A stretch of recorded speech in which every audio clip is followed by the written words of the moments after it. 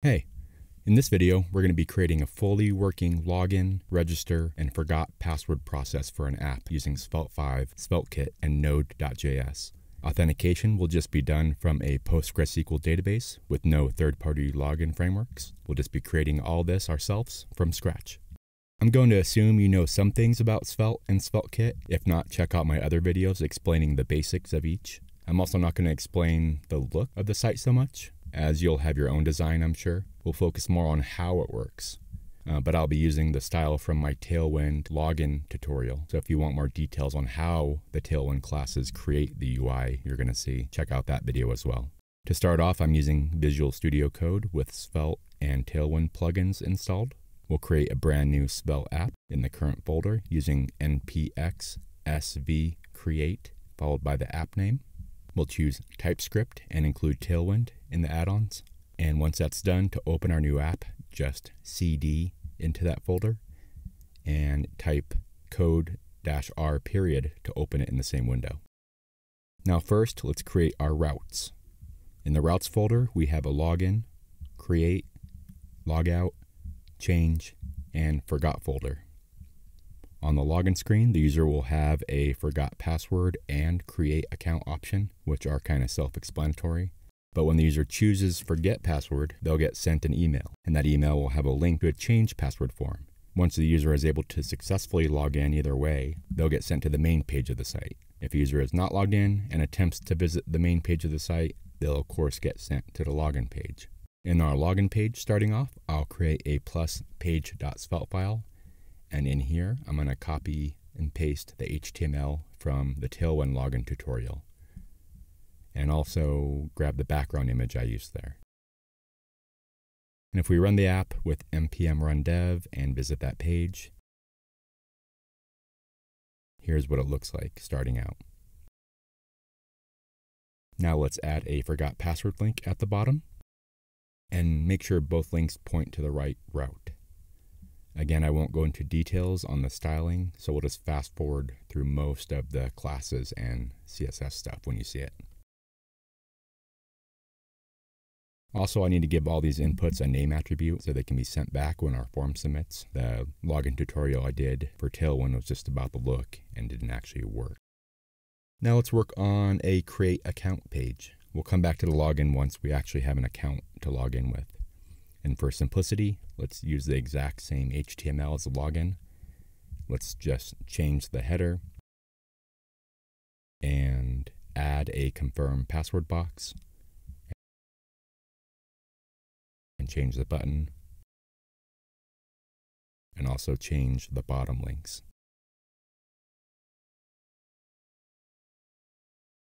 Now to actually make this work, let's wrap it in a form. We'll set the action to question mark slash create and a method to post. And when someone submits the form, the data will go to a matching plus page.server.ts file in the same folder. So let's go ahead and create that now. In this new file, we'll export an actions function. And in that function, look for our action we named our form, which we called create. This function will get the data from the request and the parameter, like this. And then each put from the data can be retrieved like this. And while I'm here, I forgot to rename the second password something else. There we go. We'll do some checks to make sure everything is filled out and also to compare the passwords.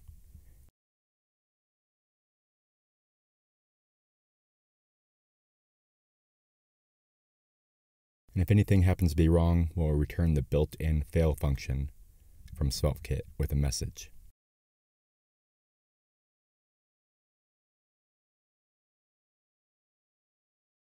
If it's fine, we'll save this new user to the database. Again, we're using PostgreSQL, and I have a helper function to make connecting and checking for errors easier.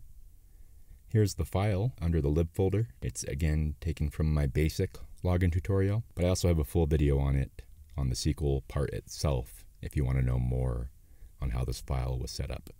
Also, here's the schema for the database. We have extensions enabled for doing the password hashing into the database. And we have extensions for generating GUI IDs. We also have a users table with the bare minimum info, a session table to store the status of their login and the matching user, and then a table to store info about requested password resets. And all this, of course, can be done in any database that you use, like MySQL or whatever. Just make sure you have similar tables and that you know the actual code needed to run the queries. And then you can just replace what I write with what you know how to do, of course. Now that we have a helper function, though, we can create the new user by typing an insert statement for it. And as you can see, we have placeholders for the input because we're using prepared statements as you should. Then we create a variable that will hold the result of calling a query on our helper function. This query wants the SQL statement as the first parameter and then the parameters for the prepared statement as the second parameter. Notice here how we are not storing the password as plain text in the database. We are hashing it with the built-in function PostgreSQL has. And make sure you're doing something similar if using a different type of SQL server. Also, our PostgreSQL insert statement can return the user back because we have the returning asterisk at the end. We'll need that new user's ID in order to set the session and cookie next. The result of the insert statement will be an array of rows, but we just need the user ID from the first row, so row 0. We then do another insert statement to add a session to the session table. We'll send this one the user ID and set the expiration date to be 8 hours from now, all using the database. This will also be set to return just the GUI ID that was created.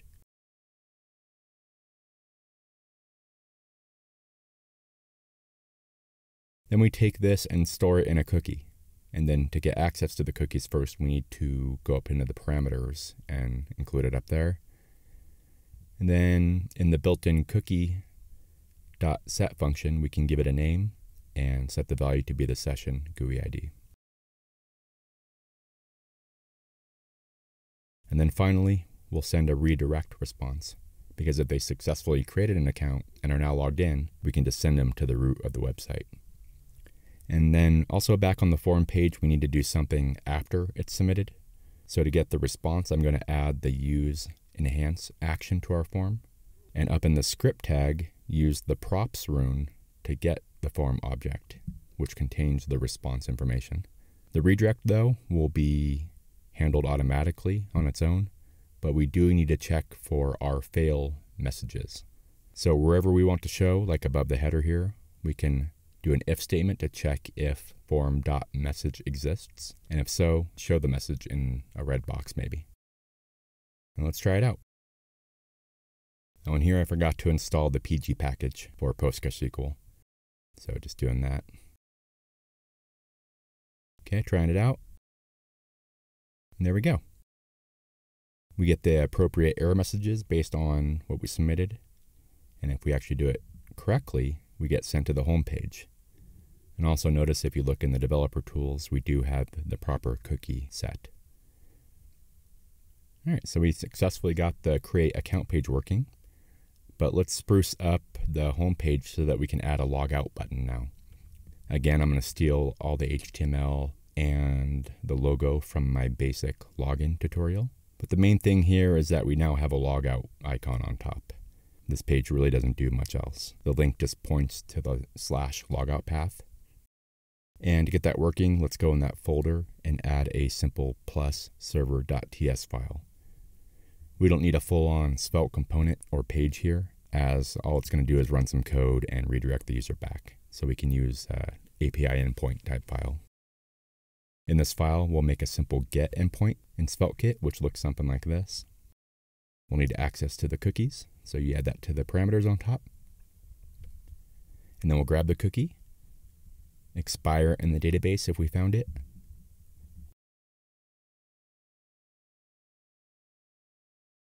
and then also delete the cookie. And make sure when you're deleting cookies, all the settings match when you created it, otherwise you might have issues. And at the end, we're going to redirect them to the login route. And all these things are built into SvelteKit besides our database helper function. And now if we click on the logout, we'll get sent to our login page. And also the cookie is gone too, as it should be. So let's make the login page work now that we have a test user to try. So let's add the form wrapped around the div. The action will be slash login this time. And then let's create the matching page plus server.ts file where the form submission will go. And that'll have to be in the same folder, of course. It'll be almost the exact same as our create script. So let's just go ahead and copy and paste the whole file. In there, let's just change the function name to login and get rid of the second password check. And down here, instead of an insert statement, we'll do a select statement. This will compare the email lowered and the password in the database. Again, notice the password hashing is handled by the database. We are comparing the submitted password hashed to the already hashed password to see if they match. There's no plain text stored anywhere. If there is no result, that means the user didn't exist or the password is wrong. So let's return a fail message if there is no row 0. And the rest is about the same. We'll save the session, set a cookie, redirect to the home page. Back on the login HTML Svelte component, add the progressive enhancement, the use enhance to the form, and add the form props on top, and copy and paste the same if statement that'll show an error. And there we go. We get the correct error based on what we type in or not type in. And if we do it right, we do get sent to our home page and we can click log out and go back to the login. Next, we need to force a login though, because if you see here, we can still get to our home page even if we're not logged in, which isn't good. To do a login check, we can add SvelteKit's hook.server.ts file to the src folder of our website. This file gets ran for every single page request, so we can check for the cookie and redirect if necessary on every page here. In this file, we add the handle request, and at the bare minimum, we need to take in the event and a returning resolve function and return it. But in between here is where we're going to grab the cookie. If we found it, we're going to check it in the database and also at the same time return the user ID that was found.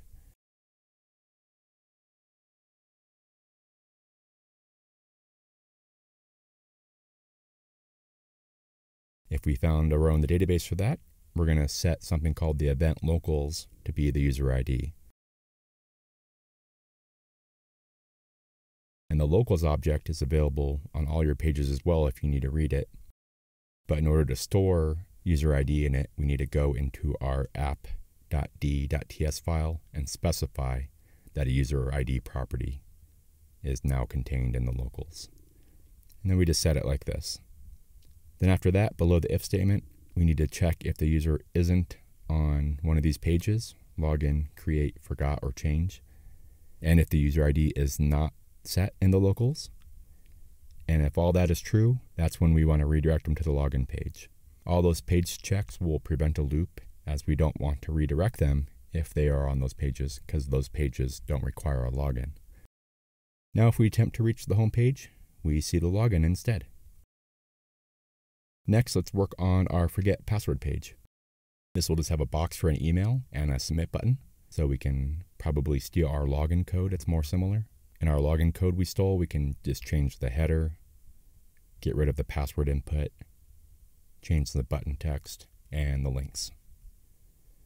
Also, let's go up to the form and change the action to forgot.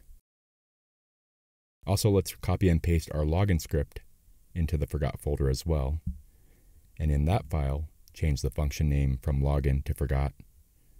Remove the references to the password here, and change the SQL to find them by email only. Also, if it wasn't found, we won't show an error. We don't want people using that to search our database for valid users. We instead want to pretend like it worked. But if we happen to get past that, we need to create a new password reset row in the database. This table will allow us to track reset requests and not allow the same email link to work twice or not allow it to work after a certain amount of time. It'll also be how we find the user from the email link. The link will contain this table's GUI ID instead of something more sensitive like their email or user ID, and it just makes the process more secure. Then we send the email. To do that, I'm going to use the Node mailer package for that. So I just need to do npm install and also install the matching at types package. Then we can specify a connection to our email server like this. Again, I'm inserting my details from a .env file, but you can just insert them right in here or have your own env file, whatever. Then I'm going to create a variable that will hold the HTML text for the email. In here, I'm making a link that will contain the reset request GUI ID in the URL. And then from that, we can run a .sendmail function on it. And in here, give it the from and to address and the subject and the HTML body. And then in the end, instead of redirecting, we'll send a success message. Back on the forgot form, let's look for this success message below our error check and maybe show a green box instead if we find it. Let's fill out this form now with the email we used to sign up. And looks like we got an error because we forgot to send the parameters to our SQL code here. So we'll just fix that.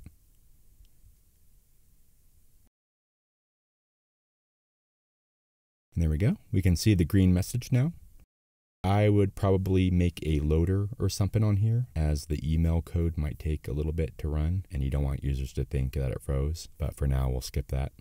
And also, if I look at my email, here's what it looks like. The button's link goes to our change URL route, and it has a GUI ID in the query string. And let's make that change page now. This will be most similar to the create new account page, so let's copy and paste that into the folder. Change the forms action to change. Change the wording of the header. Remove the email field and rename password to maybe new password instead. And also change the button and remove the link. A new thing we need to add here though is a hidden input to pass the GUI ID with. So add a hidden input field and have the value be the GUI ID from the URL, which you can grab like this. And make sure to import page from state and not from store. And here it is also in the HTML with the GUI ID and the URL. Let's again copy the server code from the create page to the change page because it's pretty similar. We'll change the function here to change, remove references to email this time, but we need to add a new one that looks for the GUI ID input. Then below we need to get the password reset request from the database by GUI ID, but only if it hasn't been completed yet and if the date requested has been within the last seven days. And of course, you can adjust this to whatever you want. If that returns nothing, we'll send back an error. But if it does work, we'll grab the user ID from that row, change the password in the database for that user,